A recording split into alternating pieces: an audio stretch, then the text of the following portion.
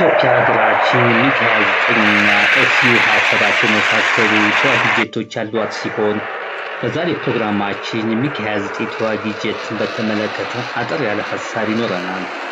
ሚግ 29 ኔቶ ሚግ 29 Fulcrum በማለት የሚገልጸው ሲሆን ይህ ባለ ሁለት ሞተር ተዋጊ ጄት የተሰራው እንደ አውሮፓውያኑ አቆጣጠር በ1970 በቀድሞዋ በሶቪየት ዩኒየን ሆኖ ዓላማውም አሜሪካ ከሰራችው ኤፍ 15 ወይም ኤፍ 16 ከተባሉ ተዋጊ ጄቶች ጋር አቻ ለመሆን ነው። በትክክል ተሰርቶ የተጠናቀቀው ግን እንደ አውሮፓውያኑ አቆጣጠር በ1981 ሲሆን የአንዱ ዋጋ 22 ሚሊዮን ዶላር ያህል ይወስዳል።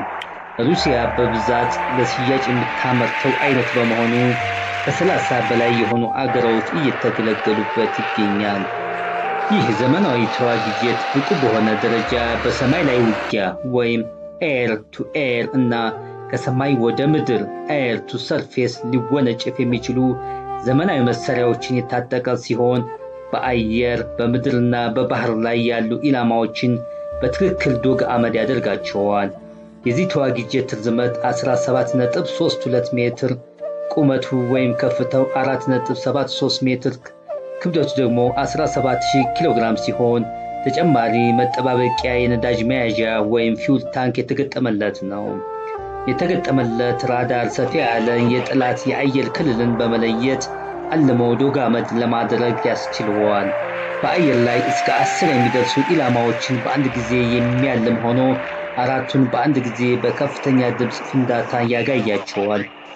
ተዋጊው ጄት የተገጠሙለትን የጦር መሳሪያዎች ስንመለከት ሁለት R 27 R 1 ሁለት R 27 T 1 እና ስድስት R UV መካከለኛ range ወይም ክልል የአየር ላይ ውጊያ ወይም air to air ሚሳኤል እንዲሁም ስድስት R 73 E አጭር የአየር ክልል ሚሳኤል አራት KAB ቦምብ እና GSH 301 የአየር አውቶማቲክ መሳሪያ ወይም machine gun የያዘ ነው።